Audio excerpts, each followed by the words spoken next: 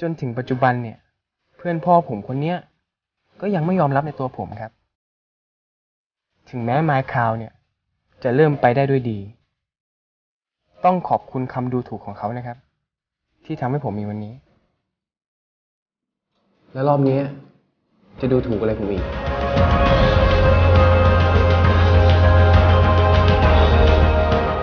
ครับก็เริ่มก่อนคือธุรกิจที่บ้านเนี่ยเราทำเหมือนกับเป็นคลังสินค้าให้เช่าครับ ตอนนั้นเนี่ยคือต้องพูดว่าความกดดันมีค่อนข้างเยอะครับ เพราะว่า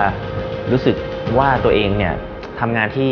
บ้านแล้วไม่มีค่าขนาดนั้น แล้วก็มันเหมือนหนึ่งจุดจุดหนึ่งเนี่ยคือเราเจอคนที่เราทำให้เราเปลี่ยนเราเลยก็คือว่าเป็นเป็นหุ้นส่วนของคุณพ่อครับผมเขาพูดประมาณสำนวนจีนว่าเนี่ยเราเลี้ยงเสียเขาสุข คำว่าเลี้ยงเสียเขาสุขก็คือว่าแบบเออ มึงตำกว่าหมาเงี้ยเพราะเลี้ยงหมาแล้วมันเฝ้าบ้านได้ด้วยซ้ำเนี่ยนี่เราไปทำไมวะเปลืองข้าวเนี่ยความรู้สึกตอนนั้นมันมันมันโกรธมากนะครับ ไม่รู้จะเถียงเขายังไง มันเหมือนกับเขาด่าเราแล้วมันก็จริงอะแล้วเกลียดที่สุดไม่ใช่เกลียดเขาเกลียดที่สุดคือเกลียดตัวเองไงครับมันก็เลยเป็นคำที่เหมือนกับรู้สึกต่ำที่สุดของตัวเองวันนั้นแล้วแหละเนี่ยก็เลยว่าอยากเอามาทำของตัวเอง อยากพิสูจน์ตัวเองครับก็ก็เลยเริ่มโปรเจกต์แรกที่ชื่อว่า Make My Gems ครับมันเป็นเอ่อ แหวนแล้วก็พลอยอะไรเงี้ยครับผมแหวนพลอยที่สามารถส่งไปให้ที่บ้านได้ก็คือเป็นอีคอมเมิร์ซครับผมแล้วก็ถึงจุดที่ว่าเรารู้ว่าเฮ้ยเราทำตรงเนี้ยได้ได้ได้ไม่ดีครับดีไซน์ก็ไม่เก่งและไม่เก่ง เราเอาเวลาของเราไปนั่งสร้างระบบหลังบ้านที่ดีเพื่อสามารถทำงานส่งออเดอร์ทำงานรับออเดอร์ส่งไปง่าย ๆ ได้ไอ้ระบบที่เราสร้างไอ้ตัวที่มันทำให้ของจิวเวลรี่เนี่ยมันค่อนข้างดีเลยนะ แต่เราเลยคิดว่าทำไมไม่เอาระบบแบบเนี้ยไปให้คนอื่นที่เขาขายดีกว่าเราใช้ล่ะ นั่นก็คือจุดที่มาเป็นจุดเริ่มต้นของ MyCloud ครับกลับมาเรื่องที่บ้านเพราะว่าธุรกิจที่บ้านเรื่องคลังสินค้าอยู่แล้วครับเลยเอาระบบที่สร้างมามาบวกกับคลังที่เรามีอยู่ แล้วก็มาเกิดเป็นบริษัท MyCloud เลยครับ MyCloud Fulfillment นะครับเราเป็นคลังสินค้าสำหรับคนที่ขายของหลายช่องทางครับเพราะว่าเดี๋ยวนี้คนไม่ได้ขายแค่ออฟไลน์หรือออนไลน์คนต้องขายหมด ซึ่งคนขายหลายช่องทางหมายถึงคนไปเปิดบูธเข้าห้างขายออนไลน์ ฝากขายในร้าน B2S อะไรเงี้ยครับผม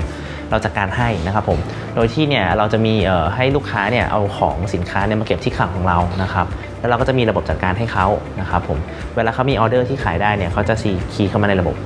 พอคีย์มาปุ๊บเนี่ยเราจัดการหยิบของแพ็คของตัวสินค้าส่งของภายในวันนั้น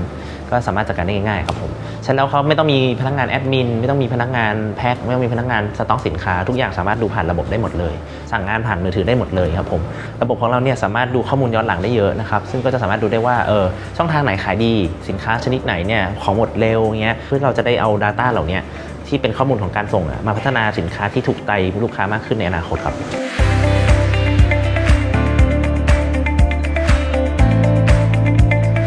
ทั้งหมางที่เราทำเนี่ย เราอยากช่วยให้ SME อะสามารถเติบโตได้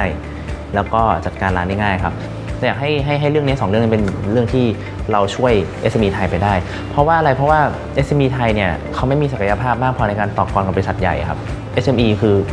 เจ้าของคนเดียวเลยครับกับพนักงานสองคนที่ทำทุกอย่างแอดมินยันส่งของยันนู่นนี่นั่นนะครับผมแล้วธุรกิจมันไปเร็วมาก แล้วคนเหล่านี้เขาไม่มีศักยภาพที่จะต่อกรได้เลย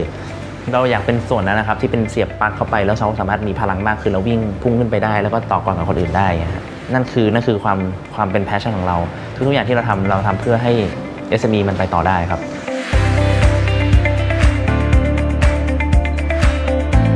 เนี่ยแหละคือจังหวะที่เราต้องกระโดดขึ้นไปแล้ว เพราะว่ามันคือเราจับโอกาสใหม่ แล้วก็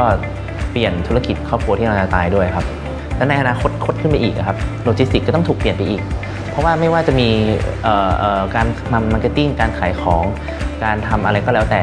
สุดท้ายแล้วทุก ๆ สินค้าทุก ๆ อย่างต้องมีโลจิสติกอยู่เสมอ มันเป็นสิ่งที่มันไม่มีวันตายครับ เราก็เลยคิดว่านี่แหละคือโอกาส